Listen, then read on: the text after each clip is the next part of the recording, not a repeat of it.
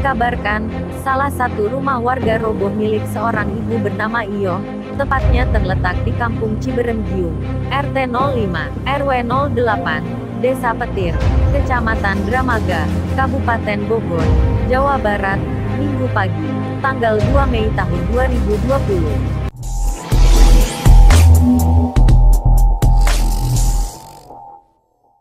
Ya pemirsa, ingin pengetahuan berita? Lihat rakyat mereka news.com. Sajikan berita, bukan hoax. Sukardi selaku kepala desa petir yang mengetahui hal itu langsung turun ke lapangan mengecek lokasi tempat robohnya rumah warga. Kepala desa bersama Babinsa dan segenap elemen masyarakat yang mengetahui hal itu, langsung melakukan pembangunan rumah sementara untuk Ibu Iyo.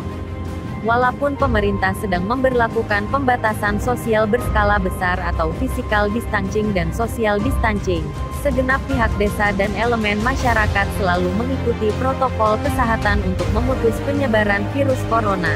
Dengan semangat gotong royong warga tetap membangun rumah Ibu Iyo untuk sementara waktu, sebelum turunnya bantuan dari pemerintah.